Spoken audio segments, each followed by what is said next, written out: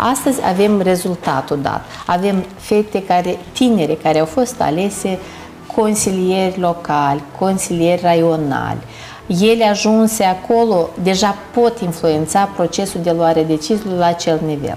Dar avem în foarte multe tinere bune tinere. care Sigur sunt și la Banca Mondială și în alte Sigur instituții că... internaționale și care își văd viitorul acolo, doamna Palehovici. Desigur, fiecare om are dreptul să-și aleagă domeniul în care activează. Eu nu uh, cred că toată lumea trebuie să-și dorească să facă politică. Nu. Fiecare simte ce poate face mai bine și cum poate face mai bine și ce trebuie să o facă. Dacă eu consider că cel mai bine ce pot eu face ă, în viața mea este să, să fiu inginer, eu trebuie să fiu inginer. Dar Altfel, lipsa lor se pre... simte în Republica Moldova? Uh, stați un pic. Noi avem încă multe, multe, multe fete bune aici care trebuie puse în valoare aici în țară. Avem un proiect foarte interesant pentru fete, uh, Leadership, poate ați auzit de el, în care ajutăm fetele să înțeleagă și să le instruim să devină lideri adevărați. Eu mă bucur că din fetele care au trecut prin acest proiect în ultimii doi ani, sunt uh, fete care au zis nu, politica nu este pentru mine, fiindcă ele au, au înțeles din interior ce înseamnă politica. Dar sunt fete care au zis da, asta este exact ceea ce eu știu să fac, pot să fac și vreau să fac. Iată, din aceste femei ambițioase devin femei politice active. Și uh, eu cred că în următorii ani Republica Moldova va avea mai multe femei tinere, activ implicate în viața politică. Ele au atâta energie și uh, ingenieritate că pot da și o altă, o alt suflu politicii moldovenești. Uh, eu sper doar că electoratul va susține uh, prin votul lor uh, partidele care vor avea pe listele lor mai multe femei și femei tinere în special. Joburi bine plătite ar fi o soluție pentru ca să-i putem ține pe cei tineri da. și talentați aici da. în Moldova? Da. Locuri de muncă bine plătite este cea mai bună și dorită soluție pentru a avea toți tinerii talentați aici în Republica Moldova, fiindcă noi avem tineri care își fac studiile peste hotare. Sunt foarte buni, dar din dragostea lor față de Moldova se întorc și acceptă condițiile care sunt la salariile la care, care le avem. Dar avem tineri, din păcate, care nu se întorc în țară și aceasta este o pierdere a Republicii Moldova și o pierdere și de resurse, fiindcă noi am investit ca țară în acești tineri până au plecat din țară.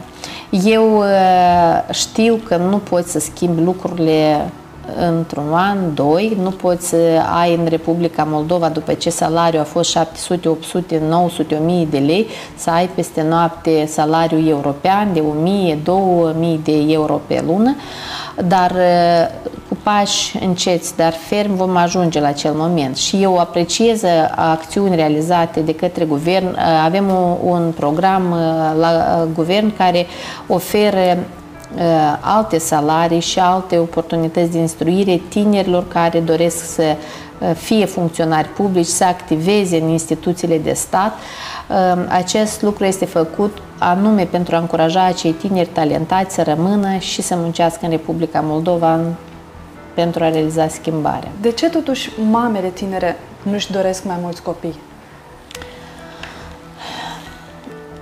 Este iarăși, o întrebare la care pot să-i răspund în diverse feluri. Unii nu-și doresc mai mulți copii din cauza că consideră că este prea greu să-i crești, este prea costisitor și poate contribuția Așa statului. Este, da, și poate contribuția statului nu este cea care trebuie să fie. Uh, Uh, dar uh, eu consider că, din punctul meu de vedere, statul ce trebuie să facă este să dea salarii mai mari uh, și mamelor și taților, să contribuie ca salariile să fie mai mari și atunci și condițiile materiale și financiare ale familiilor ar fi bune și nu ar aștepta acel ajutor social pe care îl poate oferi statul în creșterea copilului. Politicile Dar, sociale întârzie? Da, probabil că ritmul dezvoltării politicilor uh, sociale trebuie să fie altul și uh, mai multă insistență în implementarea politicilor uh, sociale. Fiecare mm, stat tinde să aibă un sistem poate tot mai economicos acesta este și cazul Republicii Moldova, dar ă, problema scăderii natalității drastice în Republica Moldova arată clar că politicile sociale trebuie schimbate și că statul trebuie să-și ă, schimbe abordarea și strategia, în special vis-a-vis -vis de familiile ă, tinere care pot contribui la creșterea natalității. De și eu am uh, făcut și o inițiativă uh, legislativă recent prin care propun să fie altfel calculate indemnizațiile pentru îngrijirea copilului, chiar și în cazul când femeile sunt, uh, atunci când au născut, aveau statutul de șomer. Fiindcă am observat o tendință, din păcate, nu prea bună, în special în mediul de afaceri, când află că femeia este însărcinată în uh, prima, a doua, a treia lună de graviditate, îi zice mulțumesc, nu mai am nevoie de serviciile tale și își caută un alt angajat. Deci femeia gravidă se pomenește cu 3-4 luni înainte de a ieși din concediu de maternitate șomeră. Adică discriminarea e încă absolut, la ordinea zilei. Absolut. De ce și am zis că lupta continuă. Nu, nu a fost valabil Suntem pentru pe, pe finalul acestei discuții. E pregătită Moldova pentru o femeie președinte? Eu cred că da. Moldova nu este, nu are așa un grad înalt, din punctul meu de vedere. Eu nu cred că Moldova are așa un grad înalt de misoginism ca să nu accepte o femeie președinte sau o femeie președinte de parlament sau uh, pur și simplu argumentele trebuie să fie făcute uh, sau prezentate uh, publicului și eu sunt sigură că mm, Republica Moldova este gata să voteze o femeie președinte de țară, o femeie prim-ministru, o femeie președinte de parlament, uh, deja depinde de uh, cei 101 deputați care nimeresc în Parlament, fiindcă președintele Parlamentului este ales de deputați. Și dacă deputații din Parlament sunt deputați care înțeleg că într-o societate democratică toți sunt egali, atunci este șansa să avem o femeie un președinte speaker. de țară Ales prin vot direct, doamna Palehovici? Eu mi-aș dori un președinte de țară ales prin vot direct. Aș vrea să vă întreb dacă puterea decizională ar fi mult mai mare decât cea pe care o aveți astăzi. Ce ați dori să se schimbe în favoarea femeilor?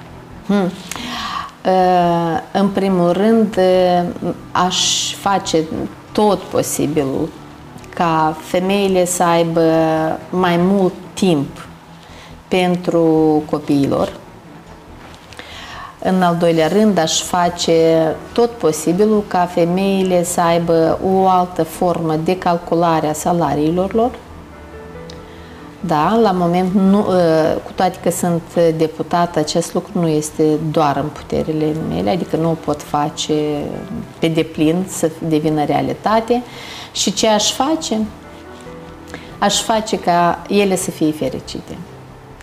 Avem acum un uh, scurt interviu Blitz pe finalul acestei da, discuții. Blitz interviu.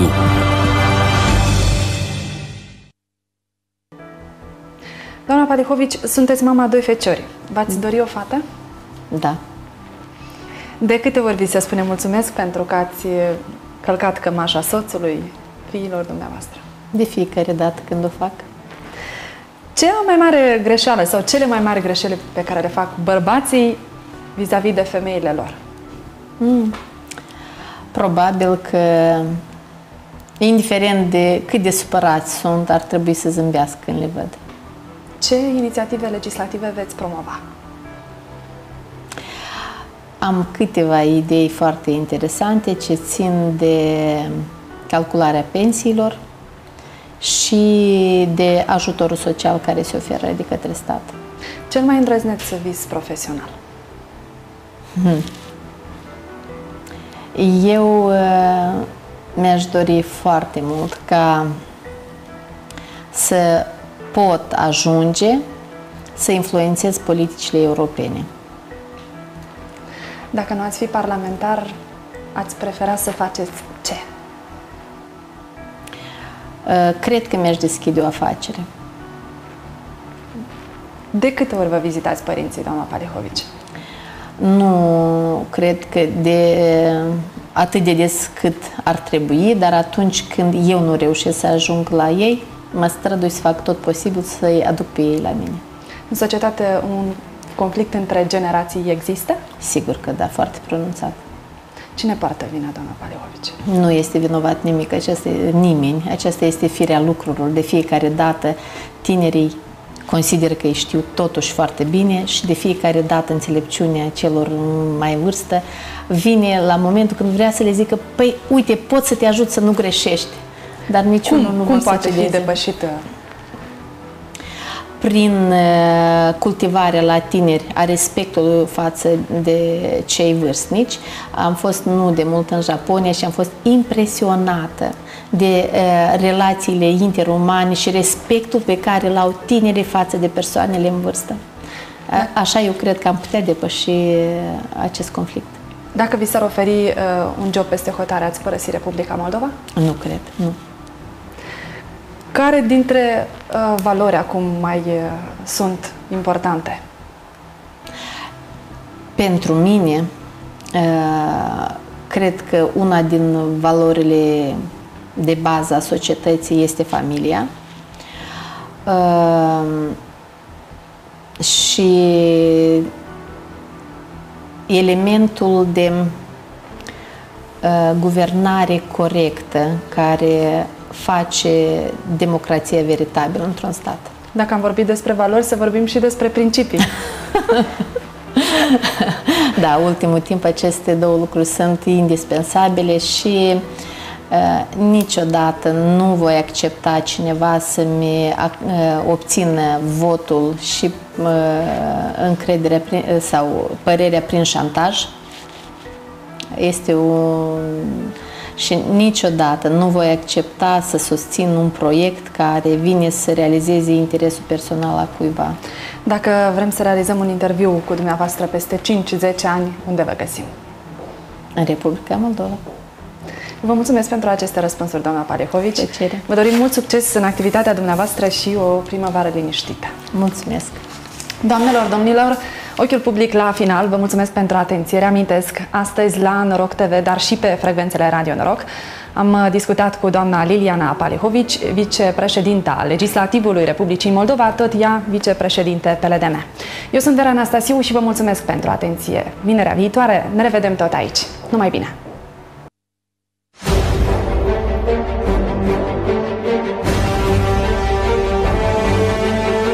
Ochiul public